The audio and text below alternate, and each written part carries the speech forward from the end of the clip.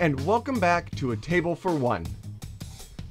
So, this week, you can see I'm not down at the church, and that's actually because I did record at the church, but I had an audio issue, and suddenly it sounded like there was a large fly buzzing around the mic, and I was annoyed myself, and I really didn't want to make, make you guys listen to that. So, quickly re recording, but you know, I find sometimes little things like this is helpful to me in the sense that I am the type of person, I, am a perfectionist. I like the things I do to be really good. And uh, and it's it's good for me at times to have the little hiccups because it reminds me to hold it loosely and to adapt. And it's a lesson I think that's constantly I need to be reminded of, especially in a season like this, where I feel like we're constantly adapting. But adaptation's not bad. And adjusting our expectations isn't bad. And so we are recording, we're doing it. Um, and, you know, it's fun this week because we have hit the six month mark since we started a table for one. And it's crazy to think we've been doing this for six months. I just want to thank everybody that has been with us through this journey from day one, or if you jumped in midway. It has it has been a pleasure and an honor to get to do this for everybody. And it's been wonderful to get to sit down with people uh, every week or so to record a conversation to share with you. So uh, it's been uh, it's been a challenge at times it has been a lot of work and sometimes not very much work. It really varies, but it definitely has been a learning experience. And I, I want to thank you for, for joining me on this journey. This week, before we jump into what I have for you, I do want to call out a few things. First of all, Sunday night, this Sunday night, and then the next Sunday night, basically bracketing or you know on either end bookending i guess uh, uh, thanksgiving week we are not going to have the the communion night because we're going to have the communion night on wednesday night this next week. It's kind of our traditional communion and pie night. So come on down to the church uh, on wednesday before thanksgiving we're going to do communion individually, kind of like we have been on Sunday nights. And there's going to be individual little hand pies for people to take. And it just be kind of a great time to, to reflect a little, to have communion, and to say hi to people before the holiday. Uh, other kind of big announcements right now is this next week, during during Thanksgiving week, our normal stuff that we've been doing midweek isn't going to happen. So, uh, a table for one, we're not going to do a video uh, youth group on Wednesday night is not going to happen, and uh, digital home group is not going to happen. But those are all taking place again the next week. So don't miss out on those. Uh, you know the times: 6:30 for youth, 7 o'clock for the home groups online, and six, uh, both on Wednesday. And 6:30 is when uh, our next table for one video is going to drop on on Thursday. Now that next that next Thursday, when we do our next table video, I'm really excited because, like we've been doing each uh, each uh, holiday season, we're going to do an Advent series.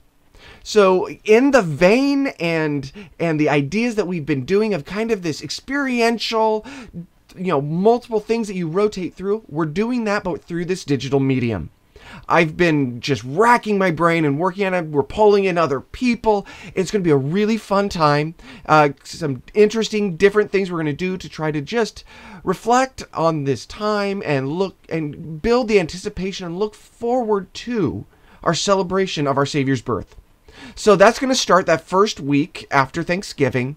And uh, so join us each week as a new video co- goes live. There's going to be activities to do with kids, there's going to be stories, there's going to be song, there's going to be all sorts of things. So join us in that some incidental things that are that are or at least one that's going to be happening is in December there's going to be an, a parent movie night and the youth and children's departments are coming together to sponsor a a viewing of the movie The Social Dilemma. It's a documentary and it really is bringing out the concerns or dangers of social media and how that impacts young people.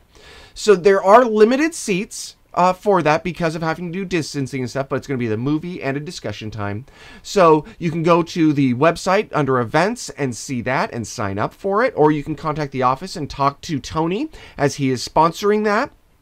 Also, we have coming up, we have blood donation through uh, Bloodworks Northwest. You can go through our website and click a link there to be able to sign up for slots. They are always needing blood, um, especially after all this COVID situation that we've been going through blood donations are down. So they could really use that help, and it's a way for us to help our community. Uh, let's see here. What else do we have? Uh, Thanksgiving boxes. Uh, those obviously are going to be going uh, out this next week. We can still use some more donations of funds for that, but I want to say, everybody, great job for donating already a lot of funds have come in and that is wonderful to know how giving our community our faith community is. So those are still going to be handed out. We also need still could use some help with the handing out so contact the office for that and you'll be reaching out uh, so they they will help connect you in the way you need. You can donate through our online portal uh, Star Tree. Star Tree is still going on. So if there are names of of children that or families that you know that they are struggling this season and they're going to struggle providing a gift for their children, that this is a way that we help support those families and those people. So provide that name to the church. Uh, you can actually talk to Tony. Tony's going to be managing that. It's Tony at SpringfieldFaithCenter.org, uh, or you can call the office and uh, give them that na- give him that name. And then also, if you're wanting to sponsor that child or a child, contact the office and they can provide those names. And it's just a way that we do it every year. And it's a way that we can just show compassion and love to different people in our church in this season. Um. I think that is mostly everything. I don't think I've missed anything. If I have, I'm sorry. Uh, but otherwise, uh, we have a different episode for you this week that I am excited for. As I was reflecting on this whole, we've been doing it for six months, I started going back and looking at the videos from the beginning. To be honest, it was a little hard. They were a little rough. but again, I learned a lot. Um, and they were still good discussions. So, what I decided to do is this week we're going to do a week in review and just pull out some clips and sound bites of all the videos that we've done over these last six months. And so I sat down, I did that. It took me hours, but it was fun getting to see those discussions again and hear those voices. So I want to I, I want to just encourage you enjoy our reflection on a table for one over this last six months as we look back at the interviews we've had in this season.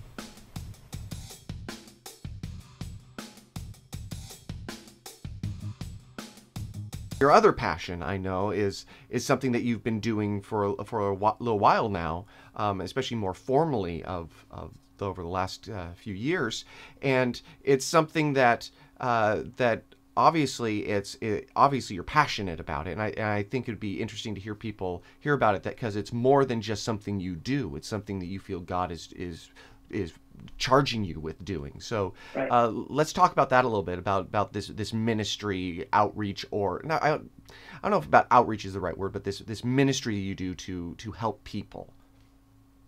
Okay well first of all that is my main ministry is um, what i call career coaching and um, it started back in the 80s when I would just do help people in different situations that God would bring to me. I didn't seek this out. They came to me to help them with their resumes. Mm-hmm. An A3 uh, principal, lo and behold, within uh, a few weeks, I was I had 100 students. I've also started teaching now regularly at Thurston High School, at Springfield High School, and the next year I'll be working in all the high schools in Eugene School District. So I'll have wow what two or three, if you count the alternative schools in Springfield, and in Eugene, you've got all the high schools plus an alternative school. She's a very new believer.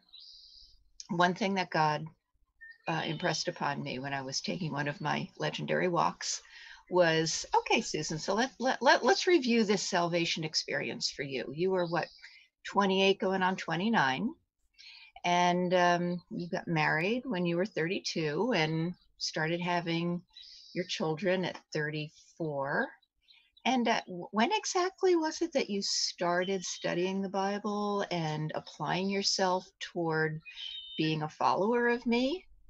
Oh, six years, huh? six years. Okay. So that, that humbled me a lot. And I, I love memory. because it's not just, you know, the sweet memories of someone who may not be with us anymore or a wonderful time that you shared with a friend. Yeah. But I like memories of even my shameful things or things I'm not terribly proud of because it humbles me. It Mhm. brings me from the, well, this is the way I think everybody should live back into, yet I didn't even live this way back in the day. I could see that he's done a lot of work in my life, and I praise him for that. So now I get to step back and give room for him to do the same in her life. Mm-hmm. Mm-hmm. Yeah. some stuff happened and I was forced very much to cling on to God. It's like, you know, from from that there was God taught me um, what unconditional love looked like through exhibiting it. Um, Okay. To to be perfectly blunt, uh, there there was a phrase that he and I got to learn together. It, it's uh, "shut up and love." but I said, when it comes, when the day comes that your dad needs hospice, um, if you need a place where everybody can gather, you can come to our house. It was my kid had a bad day at work that day, and he was like Oh, good. unloading, unloading, unloading, and I said, "Are you done? Because I I really need to share something important with you." and and Mike was like, "What? They she what?" And literally two minutes later, he was like, "Absolutely yes." That's awesome. it's the right thing to do. And I, I can tell you that I love my husband a hundred times more today than I did before that because he came through in amazing, amazing ways. I saw my husband carry my ex-husband like this, uh, you know, from one bed to another so Amanda could change sheets. He took time off from work Mm. so that he could be helpful towards the end when Amanda could not handle things by herself. And then when my wife got hired on, it was just more like a, okay, like she's really passionate about this and I want to see her succeed and I want to see, you know, these kids experience God. And, you know, being in ministry, you can't do it alone, you know, even if she has a team behind her, I, I want her to know that I'm behind her as well, you know, so she has someone who can, she can relate with when she comes home or talk to about it or, you know, you know, on some level, I want to be there, you know, Yeah. me being able to say, okay, I'm home from work. Like you can go now. Like, you know, I know you got to get stuff done and just allowing her to take that time, you know. Yeah. How would you say your faith has shaped your philosophy and counseling and, and how you go about it?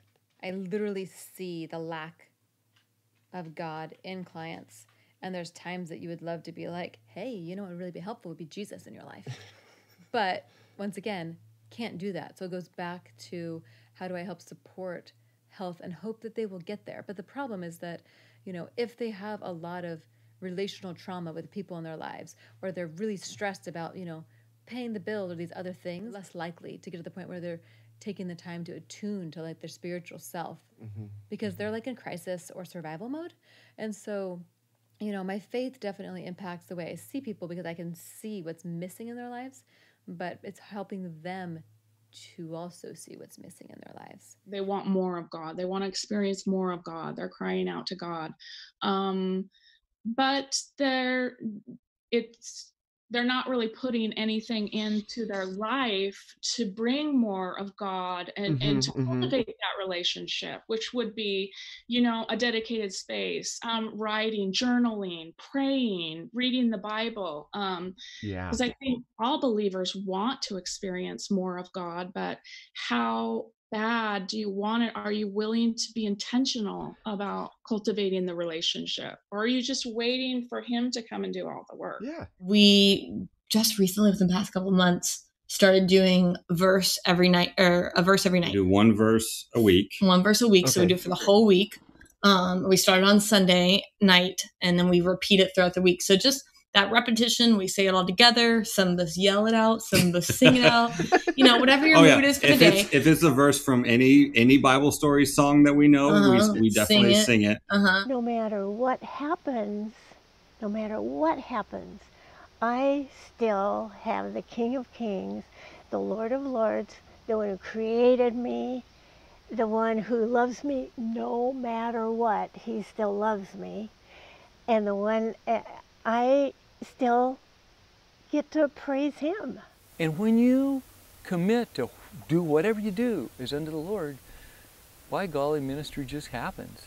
What do you like about church? Uh, the youth group. The youth group? Yeah. What about it? Um, just we get to do fun activities. Okay. And sometimes beat each other with poo noodles. Our older community needs to, we need to reach out to them more and because they have so much that we could learn from and Yeah. listen to. And they need all of you as well as vice versa, I guess. now more than ever is a, a great opportunity for us with the programmatic stuff pushed aside for us to really focus on developing relationships and with Mhm. those kids who do have a relationship with Jesus that we're able to build them in their faith and for those that don't that we get to share in in very personal ways what it is to follow Jesus. But God, you are not only near us, we acknowledge your presence that is beyond us and above us, that encompasses all of your creation.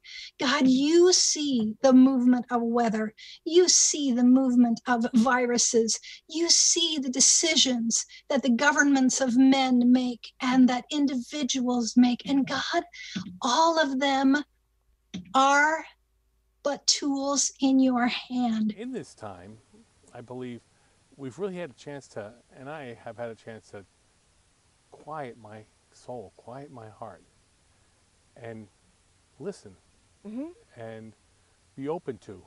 Where before I had a list of things I had to do, things that needed to get done. I'm always busy, something's happening. And if there wasn't, I was making something happen. so I don't know what that's like at all. keeping myself busy, right? So Especially as I get older, I become more and more convinced of uh, the value. yes, yes. I, Should I buy you a cane No, after just this? about. Hey, you're not far behind me, my friend. So where were we? Distance in relationships. The older I get, the more convinced I become of the value of working to make some recovery Mhm. in those areas. And And that's not the legacy that God desires for us. It's not the one that He thinks is important. It's not about how we'll be remembered. But to God, it's it's who we've impacted. So as we live our lives, and sometimes we even look at what is my legacy? What am I leaving behind me? We need to remember it has nothing to do with what we're doing the tasks, the stuff. It has everything to do with the people that we touch and that we impact. part of me what what I'll do is kind of take them with me somewhere like say Mm. let's go to you know let's go for a drive up the McKenzie or whatever you know not right now up the McKenzie, but Yep. you know go for a drive or do something so it's a kind of an includer sort of thing to get them out of their reclusiveness Mhm. um, to make it uh, just a fun kind of an outing or let's go for a hike uh, yeah a walk or something like I hike Uh, my wife always tells me we should go for a hike. I'm like, I don't, I don't like hiking. Yeah, or invite them for lunch or something. Yeah. But it helps people get out of the house because I do know people that are tend to be like that. So Mm-hmm. It was a learning curve. It was a real learning curve. And getting out of the mindset that you have to say something to Mm. share your faith. Mhm. That really, um, especially in that culture, people watch. They watch your actions, they watch what Mhm. you do. And that, when I started to realize that, it's like, I can do this without saying, blatantly saying anything. Yeah. And, you know, students have a lot of questions, especially university students. Mhm. They have a lot of questions, and I can share from my own personal experience if they ask me a question. And that was always delightful, very delightful. In the latter years, what I realized is, you know, there's a lot of truth in the Bible. There's a lot of truth in what Jesus said. And I don't have to Mhm. say, well, you know, Jesus says. Yeah, no, no. I can say, well, you know, a, a good teacher once said, or I've read this in a Mhm. special book. And I can share those words without making them in your face, confrontational, religious. Yeah. And Lord, I just ask as they come here, they'd be welcomed with open arms from everyone in the church, Lord. That just there'd be an excitement uh, of someone coming very special, and they are very special. Lord, I'd pray that uh, you would find them housing. I pray, Lord, that you would give them the right school to go to and the right people to meet. And I just pray, Father, that uh, we'll be meeting in a church soon. I pray, Lord, that you would give Springfield Faith Center, just give them love for this couple, Lord. Yes. I ask, Lord, that you would prepare them and uh, in a unique way, Lord. I don't know what that is for Springfield Faith Center, but I just pray everybody would be open to listen and enjoy what God has sent to us. And, and I believe with all my heart that God has sent this couple to us. I felt very peaceful and very comfortable listening to them and meeting them, Lord. I just ask that everybody else would have that sense as soon as they meet them, Lord. Thank you, Lord, in this time of misery for so many and heartbreak for so many. You are there everlastingly as the power of uh, glory and peace and health. And we thank you in Jesus' precious name. From my experience, more individually, Mhm. um, there were a lot of women from the church who came alongside in particular. Um, a few I remember more by name, actually, your mother being one of them. Yeah. Uh, Bev, Bev made Christmas cookies with me at Christmas time and, and would just take me out for an afternoon Mhm. occasionally. Uh, some, may, some, but there, there were multiple women in the church um, that showed up consistently. That that you know once every couple months they'd take me out for a whole afternoon. They'd do something. I'd get a card in the mail saying I was thinking about you, or or many other different ways. And it was it, it had a profound impact on me as a child, and it still impacts me as an adult. I hope you enjoyed our little bit of reflection this week. But before I let you go, I do have just a scripture that I felt the Spirit put on my heart that I want to share with you and, and some thoughts. So here it is. It's out of 2 Samuel uh, chapter 22, and it starts at verse 26. And, and it reads To the faithful, you show yourself faithful. To the blameless, you show yourself blameless. To the pure, you show yourself pure. But to the devious, you show yourself shrewd. You save the humble, but your eyes are on the haughty to bring them low. You, Lord, are my lamp. The Lord turns my darkness into light. With your help, I can advance against a troop. With my God, I can scale a wall. When I when I read this, my mind started going different ways, but I just felt the Spirit say, when we really start to lean in and say, God, I want to know you, I want to experience you, I want to be transformed by you, that when we start showing those character qualities of Him, that faithfulness, the the the blamelessness, the purity, the righteousness, those things that that it's not just that we experience it and we start to show it, but we start seeing those things. We start seeing those character qualities of God in our lives and all around us. And it changes our perspective. And let's be honest, I think all of us could use a little per- perspective change sometimes. We can get caught in all the gunk going on in life and we start losing sight. And sometimes, I'm not saying always, I'm saying sometimes, that's because we've become, we started to become disconnected and we're getting enwrapped in all the turmoil and stuff going on around us. So, my encouragement right now is just lean into God. Devote time to scripture, devote time to prayer, to worship, to compassion and kindness to those around us. Experience God in your life. Because remember, He will save the humble, those who come to Him and those that are proud and think that they know better. He's going to bring them low. But also, He will be our light in the darkest of times. He will be our strength when we are weak, and nothing can stand against, against us. The enemy can't stand. Walls and barriers will be nothing because our God is with us. Church, I love you. I am praying for you always, and I can't wait to see you in person again. Have a wonderful holiday. God bless, and we'll see you next time on A Table for One.